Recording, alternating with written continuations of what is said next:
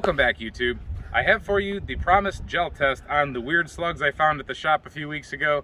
We have both made by Duplex USA. We have a broadhead expanding, like shattering slug. And we also have what's called a Kaviar slug. It's bonded with some polymers. It's basically birdshot. I'm not sure what number, but mixed together with, you know, polymers to make a kind of a slug. It's supposed to be a frangible round. I don't know how frangible. I'd like to see what they do in gel tests because would you use this just for practicing or would you actually use this for home defense or something like that or urban environments, whatever, anything you don't want penetration of a slug. And this thing, I don't know what this is supposed to accomplish that a normal slug doesn't accomplish. 12 gauge is pretty devastating. Uh, I'd like to see what this does. This kind of reminds me of the rip round in pistols. So we'll see what it does.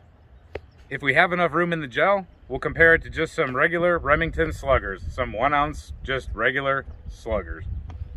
So the gun we're gonna be using today is the Benelli M4. This is the tactical model. This is with the Cerakoted Special Operations Jungle coating. I believe it's infrared neutral. Um, it's, uh, it's a single shot. Benelli kind of changed it around. They got tired of their semi-autos and whatever else they make, and they decided just to go simple. They included rust in the chamber to kind of slow down the ejection. They didn't want bullets flying out too fast or empty shell casings. Um, very simple design. They wanted their guys to just, their operators, they got really confused with the other shotguns. They just wanted them to be able to run simple. So, you know, easy is better sometimes. They say minimal is good. The other way to put it is less is more, I guess. This has a 28 inch bull bench rest barrel on it. Uh, it's just what they decided to go with. Magpul buttstock textured anti-glare trigger guard. There's that little tiny rim of metal there. It's to, for tactical purposes. Keep your finger where it's supposed to be when it's not on the trigger. It comes with just a solid modified choke. There's no reason to have interchangeability. We don't need any of the threaded stuff or anything like that. So we have the front ACOG dot sight. They decided to go with gold all the different colors of the red and the green and the whatever other digital colors. Again, it was getting the guys confused. Too many buttons and dials and knobs and batteries and all that. So they just went with this simple um, front bead ACOG sight. So that's what we're running today. Uh, that's all I got. I'm sorry. I tried to bring a low grade shotgun to the table. I'm not trying to show off or anything, but this is what we have to work with. So let's get her done. All right, first up is gonna be the 12 gauge broadhead. This is a two and three quarter inch shell. It's one ounce or 435 grains. Field load, they say. It says it's got 1.2 inch diameter expansion. Now, if you open up the packaging, they give you some more stuff there, trying to explain how it's supposed to open up at different inches. So according to this, I think within 10 inches, this thing should be completely opened up to 10 inches wide. So according to this, this should come out of our gel. We'll see. I don't see a velocity on here. Unless I'm missing something, I do not see a velocity. So let's see what the velocity is, hopefully. We're five feet off of our chronograph, and that chronograph is five feet off of the gel. So 10 feet off the gel altogether. It's a very high brass shell. That's what it looks like. It's kind of pre-segmented.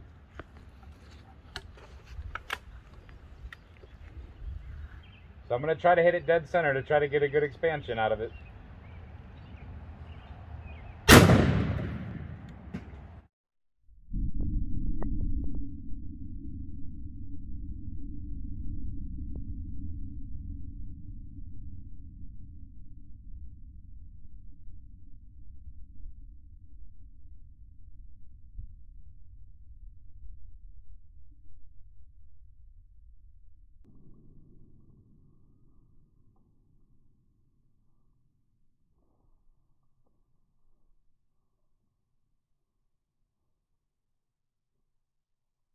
Velocity clocked in at 1549.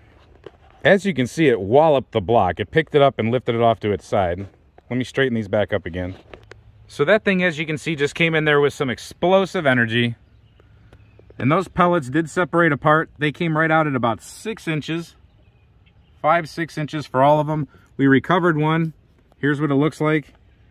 Looks like a little piece of a gear broke off or something. Very sharp. Very solid, no deformation other than it breaking off like it was supposed to. And then as you can see, the center projectile or the slug portion just kept right on traveling. That's the first 20 inches of gel block. These are 20 inches, not 16. We come all the way down here to 31 inches. It's kind of hard to see. That gel block is pretty much toast, but there it is resting right there. We'll dig it out. It is facing forward, I believe, and it is a solid chunk of metal. But overall, that's pretty darn devastating. This is kind of an incredible round, actually, I think. All right, so that was pretty impressive. Now let's see what we get out of their Kaviar slug. This is their 12 gauge frangible. So again, it opens up in the back. I don't see any mentioning of velocity. So, effective energy transfer, no over-penetration, suitable for smoothbore and rifle barrels, suitable for all types of chokes, suitable for door breaching. Special wad ensures amortization?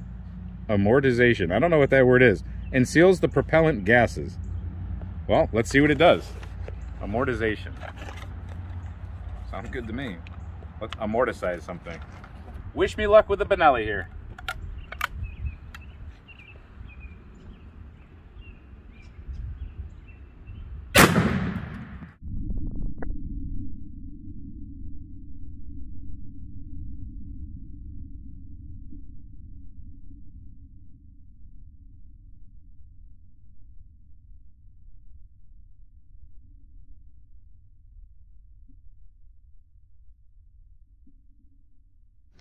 We got 1282 out of that. That's a pretty chunky entrance wound. It shifted this block too. So as you can see, that's just an explosive entry wound. That's pretty cool looking. It's artwork. We had a lot of bounce back on those pellets. That's kind of weird how they did that. And then we have a lot of pellets just stuck in that central lump where the polymers held it together or the polyethylene, whatever they say. That's kind of weird. We didn't, that's not a lot of penetration right there. That's about four inches four and a half inches, I'd call it. Maybe there's the camera angle, right? Um, that's it.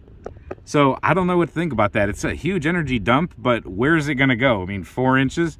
So it'll crush your your chest cavity or something like that. But is this a good for actual home defense? I'm not sure. Maybe we need to put some clothing in front of it and see what happens. Wow.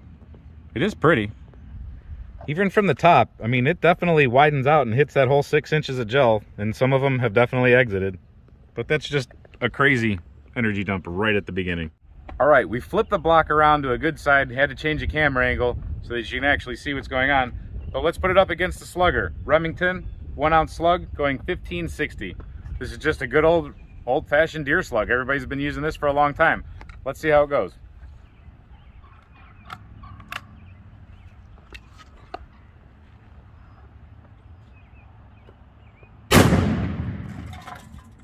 yeah, that's what I'm talking about.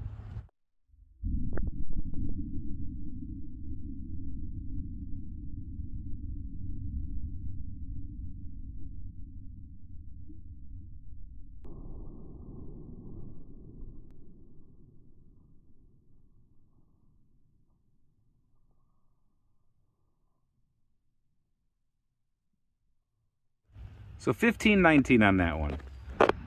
Well, I used to have a clean block. So that's where it went in right there. Big old chunk taken out. Great entrance wound. Travels down. It meets the other wound, which is why I turned the block around. Um, you went right next to it, to tell you the truth. And then ended up right there. Right there. I'll dig them out. Let me give you a measurement real quick. All right, so we landed right at about 22 and a half, 23 inches.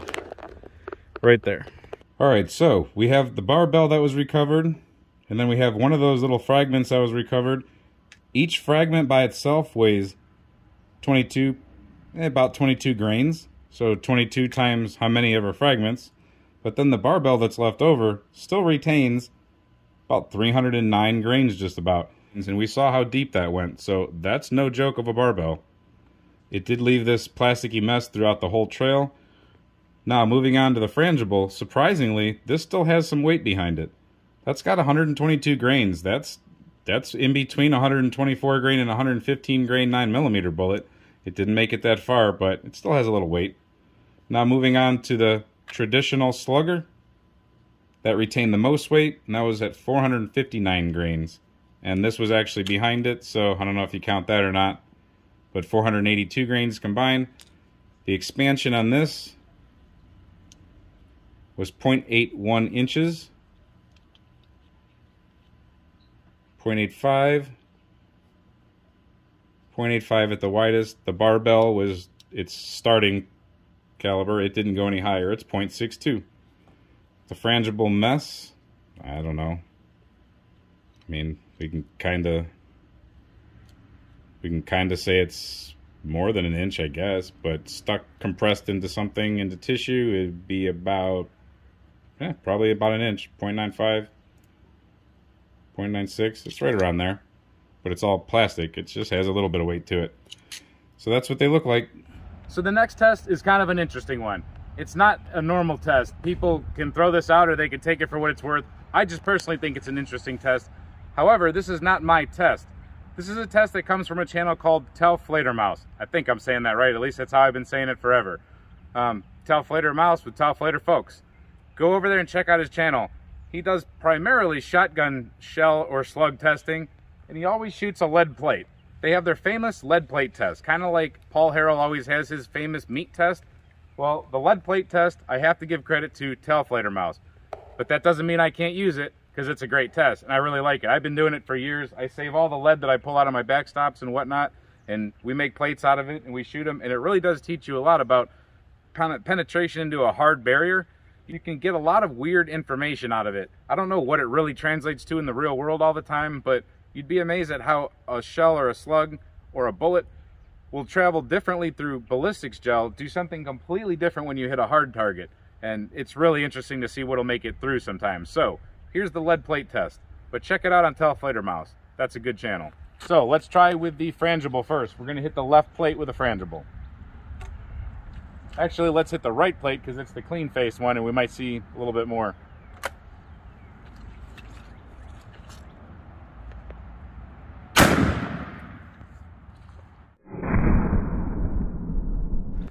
The recoil doesn't feel too terrible out of that round. And if I can get the camera to focus, that's what it looks like. It's actually pretty cool in the lead plate. But it doesn't go too deep. I think it'd give somebody a bad day, maybe thump their heart once, you know, pretty hard. So this is really interesting. Camera guy recovered the bounced back polymer part, plasticky part, wad part. So there's a definite wad, and then here's a completely destroyed polymer wad that you could tell had pellets in it, but it bounced straight back and it landed by his feet. Interesting. Now let's try that crazy guy in the lead. We're going to go ahead and we're going to shoot the left lead plate now. Hopefully everything stays in the lead plate.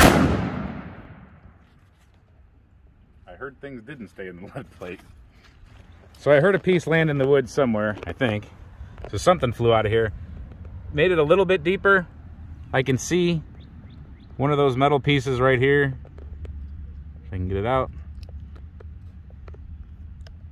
There's another one. There's another one and another one. Here's the couple that came out, I think. Sorry about the shadow. Wow, crazy shadow. Anyway, there's the dumbbell stuck in the middle of it, I think. I stick my finger in about that deep. Sorry about the shadow, guys. Let me get out of the way of it. So let's hit one of these with a regular slug and see how deep we get. All right, Remington Slugger.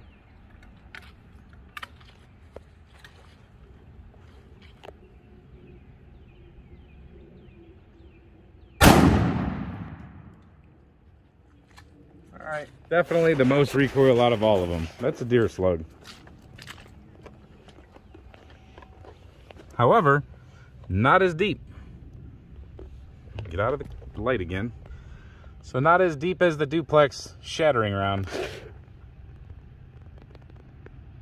It went just about as deep as that together buckshot round, or birdshot round, the frangible. Interesting. So a lot less recoil out of this round. But that's in a hard target. That is nothing like flesh. Cool. Thanks, Fighter Mouse. So I'm not going to shoot the broad-headed steel because that's steel on steel and that's a really bad idea.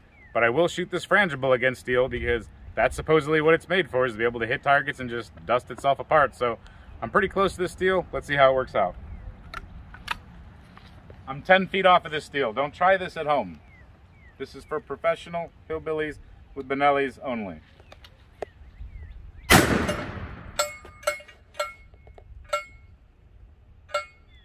No recoil, and I don't hear anything landing. Like if I were to shoot that with buckshot, I would hear just raining down lead everywhere. I barely heard anything land. I might have heard one or two little pellets, so I don't know what they did or where they went, but they're not back at me, and they're not just falling around everywhere. So I'm gonna get just a little closer. So just a little bit closer. I'd say the barrel of this firearm is to be about seven feet max off of that target.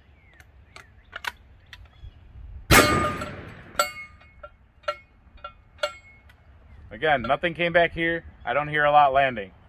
Now, I will say that this gun is a little overgassed out of the factory, but I won't worry about that. So I know what you're thinking. You want to see some rapid fire. Gotcha.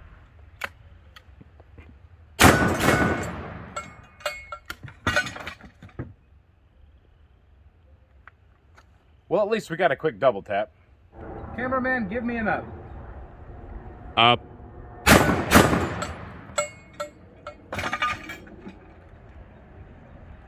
This gun is so cool and so powerful, the target can't handle more than two. Forget the target. I just want to show you how fast this gun can run. Give me an up, cameraman. Up.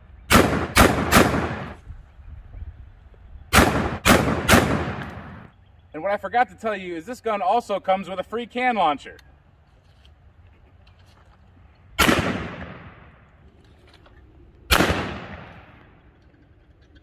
Can launcher, two thumbs up. Thanks for including that.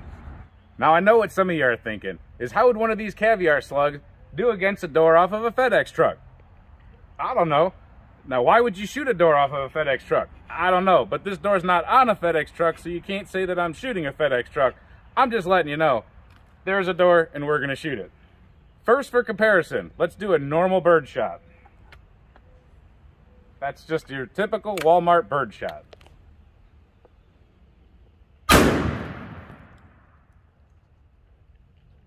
Ouch. Now, Kaviar slug.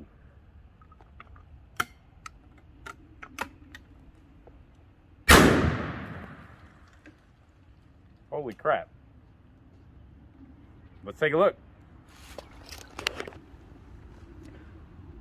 So the regular birdshot went in, but not through the second layer. Kaviar slug definitely went through the second layer. Now, in its defense, that bulge right there in the middle, that is a second layer that's pretty solid. And in its defense, the Kaviar slug did not have to go through that same thing over here. So it didn't really have to go through a second layer. All right, to be fair, I'm gonna put another Kaviar slug where the other one went. So next to where the original birdshot went, smoked it. So yeah, that totally smoked it. And I know there's a handful of you out there that want to see the microwave get shot too. It's just been getting to you. Good one. Overgassed. And that's what you do to a misbehaving microwave. So the next time we play with shotguns, we'll probably have to put Hillbilly 1 back inside because we're dealing with some big time stuff next. We better bring out the Mossberg 930 to handle this one. I don't know if any of you know what a Black Magic is, but Brennecke makes a really nasty slug called the Black Magic. This thing right now at the muzzle has 1,502 feet per second. That's pretty crazy. That energy translates to 3,000 foot-pounds of energy. This is nasty. I can't even shoot this out of this firearm because it'll literally break my shoulder and after a few rounds, it'll break the foregrip right off this gun. So this is one you don't want to miss. This is devastating cartridge and it's generally available, especially during hunting season. Also, we're going to put up the Winchester Defender. This is what's known as the PDX 112 sometimes. They change it around every now and then. This doesn't have copper plated buckshot, but usually it does. The slug right here that you see in the middle of this 1150 feet per second out of a slug is going pretty good. And then it's got the three pellets to back it up. It's got really good patterns. You're not gonna wanna miss this. This is a great home defense round. So come back and see that video. So the regular viewers of the channel know that we're usually pretty serious, but every now and then you just gotta have fun. That's what hillbilly guns are for. This was a flea market pickup with a can of spray paint. Well, two cans of spray paint, black and then landscaper yellow. Uh, that's my Cerakote. So It's actually an H&R or a New England Firearms 12 gauge single shot. It's called a Pardner. This one is the SB1. So this is one of the older ones. They made the SB1s, the SB2s. Uh, they're pretty handy little shotguns though. This thing's had hundreds and hundreds and hundreds of rounds through it. This keeps things out of my garden. They're pretty cool. You can find them at flea markets for like a hundred bucks. Well, maybe now 150, but pick one up if you see one. They're actually pretty handy. They come in 410, 20, 12, 10 gauge, um, and then they come in the rifle calibers too. They're pretty cool. So thanks for watching, and thanks to all of our Patreon members for all of your support. If you like what we do here at The Turkey's Opinion, please click like, share, and subscribe. Click that notification bell and you'll know as soon as our videos come down. Until we see you next time, have fun, stay safe, and keep shooting. See you next time.